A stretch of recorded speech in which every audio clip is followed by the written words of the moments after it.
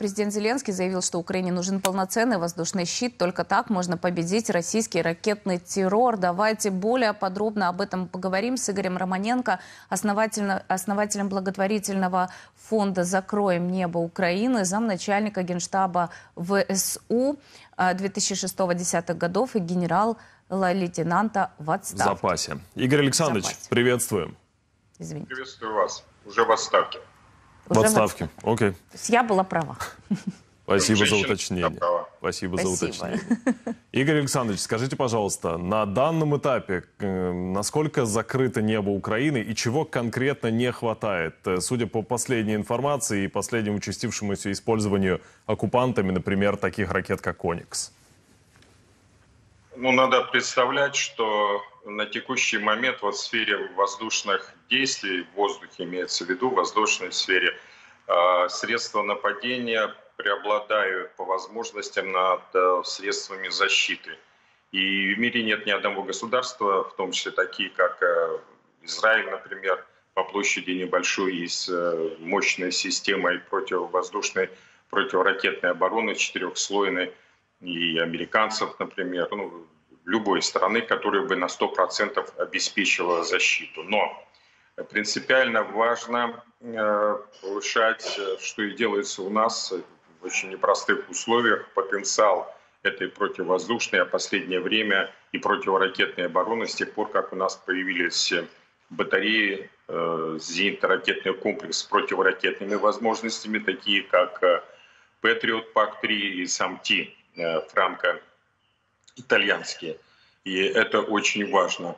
Но есть отличия. То есть если мы понимаем, что в принципе за 17 месяцев войны э, так часто э, по объектам, которые находятся на территории Украины, как э, столицу, другие объекты у нас не атаковали, то была сосредоточена и остается противовоздушная противоракетная оборона вокруг, как россияне оценивают, центра принятия решения – которые они изгалялись как могли и не достигли результата именно по столице.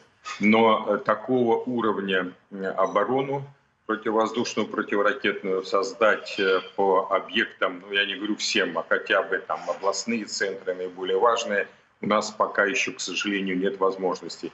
Поэтому, имея в виду достаточно эффективное выполнение задач конкретными расчетами – зенитных ракетных комплексов, истребительной авиации, которая у нас не так многочисленна, как хотелось бы.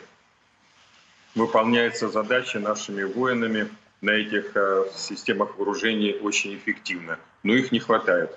Поэтому, э, с одной стороны, с другой стороны, э, враг изучает эту ситуацию. И, как мы видим, например, по нанесению воздушных ударов по Одессе, он использует принцип комплексирования различного вида вооружения воздушного нападения. То есть мы там видим ракеты э, баллистические, которые э, средства обороны противовоздушные противоракетные э, там могут уничтожать с низкой вероятностью. Не хватает комплексов, и комплексы должны быть соответствующие возможности, которые там нет. Мы видим, что применяются ракеты крылатые, применяются беспилотные летательные аппараты, а, камикадзе или шахеды или э, боеприпасы, баражирующие по терминологии военной. И в результате этого эффективность уничтожения целей по совокупности за э, удар в течение суток она э, достигает около, колеблется около 50-60%. Это еще раз говорю о том, что связано с тем, что там не хватает как количества средств противовоздушной обороны, противоракетной в первую очередь, э, так и не хватает э, таких средств, которые бы могли работать по аэробаллистическим целям, к которым относятся там «Оникс», Х-22, э, значит, и «Искандеры» баллистические на текущий момент. Вот такая ситуация. Игорь Александрович, вот эти вот э, аэробаллистические ониксы, чем э, теоретически они могут сбиваться? Сбиваться могут зенитно-ракетными комплексами, имеющими противоракетные возможности, такие как «Патриот» и «Самти». А, ну, а мы с вами обсуждали этот подход, он принципиально, принципиальный и стратегический, который заключается в том, что надо иметь средства уничтожения пусковой установки всех этих средств воздушного нападения противника до их пуска. То есть «Искандеры» надо бить пусковые установки на земле до того, как они пустили э, значит, калибры, которые размещаются на кораблях ракетных, на катерах ракетных, на подводных лодках. Значит, надо э, бить по их военно-морским базам, по кораблям, базах, где, быть где, для того, чтобы уничтожать. Ну и, э, значит, самолеты, как воздушная платформа для запуска уничтожать, как у нас были, мы помним, по Энгельсу, Э, сейчас наносятся удары по аэродромам в Крыму, например. То есть э, бить по аэродромам или бить зенитно-ракетными комплексами дальнего действия в воздухе. Опять-таки возвращаемся. Дальнего действия это у нас значит, Патриоты и Самти. А насколько ситуацию спасают такие системы, как э, Гепард, например? И, кстати, если уже говорим о Гепарде, производства Rheinmetall немецкого, то у них есть еще одна система, Skynex называется, э, которую да. вроде бы как в ближайшее время либо могут изготовить для Украины, либо даже передать украинской стране. Э, значит, важно, Гепард – хорошая система по э, работе по низколетящим целям, к которым относятся беспилотные летательные аппараты – и крылатые ракеты. Вот это цели. То есть у него небольшая дальность, там километры до, э, по высоте и по дальности, но она обеспечивает, если они увидели эти цели, то есть экипаж этой машины, то значит, и есть какой-то временной запас, они, как правило, уничтожают такого рода цели. Э, но нужны боеприпасы. В связи с этим э, переделывают Rheinmetall, э, значит, переделывают боеприпасы под «Гепард» и увеличивают немцы, спасибо им, самих, количество самих установок. Та система, о которой вы говорите, важно понимать, что есть снаряды с, с управляемым подрывом. То есть этот снаряд, когда вылетает через ствол, него вводится информация, ну, при помощи предварительной обработки локатора, пункта управления у них все это в одном и в компьютере, а, где на какой дальности должен подрываться этот снаряд. То есть можно, условно говоря, выпустить 50 снарядов, чтобы уничтожить беспилотник, то есть в район попадать, где-то впереди, сзади, над ним подрываться. А можно выпустить 5 снарядов с управляемым подрывом, и будет просчитано, что снаряд, пролетая вот на такой дальности, потому что в него введена такая информация при вылете, он будет подрываться. Это дороже, но это эффективнее. Есть такого рода системы там, в Швейцарии, которые в раздумье, чем и как нам подавать, и держатся за нашу нейтраль... за свою нейтральность в нашей этой борьбе. Э, вот. Ну, немцы чем могут, помогают, поэтому переделают пока к имеющимся, во-первых, э, гепардам снаряды, э, разговор был. И вот работа идет над тем, чтобы поставить системы э, артиллерийские, зенитные артиллерийские системы, которые используют принцип управляемого подрыва, о котором мы с вами говорили. Он более, безусловно, эффективный и необходимый нам для работы по такого рода целям низколетящим. Игорь Александрович, есть информация о том, что у врага есть вертолеты, которые бьют на расстоянии 80 километров. Есть ли у нас средства борьбы с этими вертолетами? Если нет, то какие они должны быть? А, ну, должны быть такие, как вы сказали.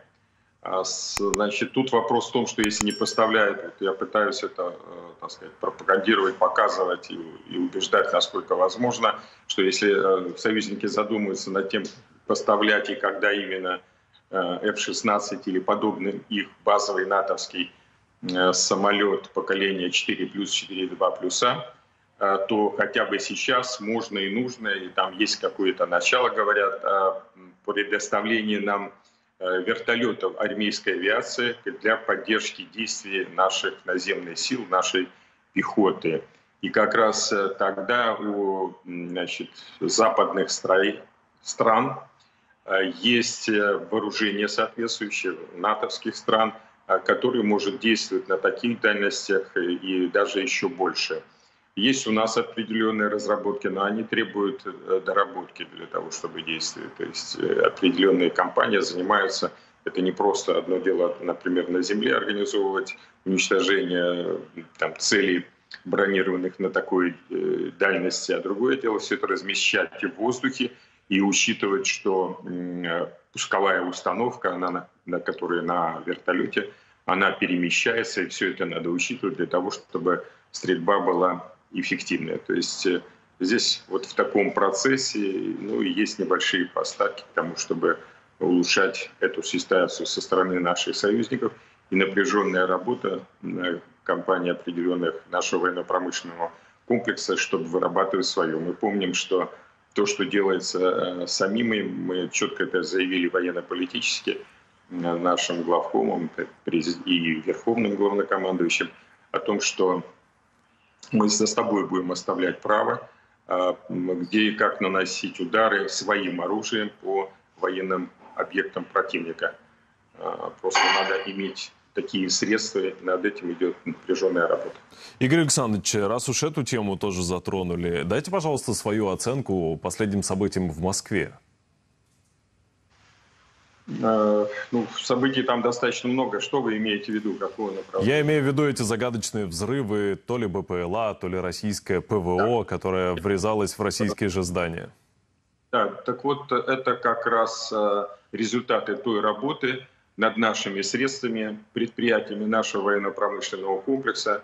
То есть, э, поскольку я там информационный волонтер, да, и мы с вами не представляем так, государственные позиции, там есть свои спикеры, которые могут или не могут об этом говорить. Поэтому мы можем на данных зарубежных, например, сказать о том, что наши возможности в этом смысле повогнятка нашего увеличиваются и улучшаются. Поэтому э, значит, и дальности, смотрите, там было заявлено еще в прошлом году Укроборонпромом, что мы имеем беспилотник на таких дальностях. Сейчас идет процесс, там, делает заказ такого вооружения Министерства обороны, нет, но все равно э, дело на месте не стоит.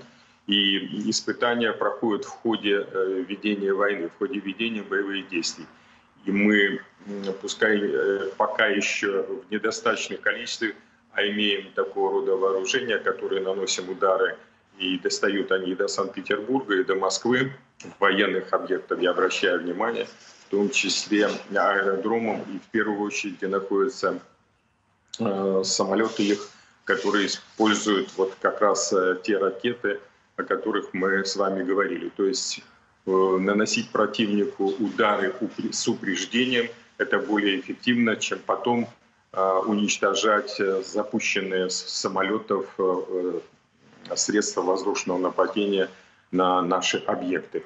Поэтому это стратегически очевидно и понятно. Идет просто работа по увеличению наших возможностей. Но удары наносятся и по военным объектам нашим вооружением, подчеркиваю, на территории Российской Федерации, а также по оккупированию части. Посмотрите э, сводки каждый день по объектам э, Крыма. Например, там, э, то есть на словах союзники признают, что Крым наш и все, но вот у них сомнения как бы не привело к эскалации, поэтому по применению их вооружений, не говоря уже на объектах, как известно, Российской Федерации, но в том числе по оккупированной части. Поэтому большие запросы у нас на такого рода вооружение.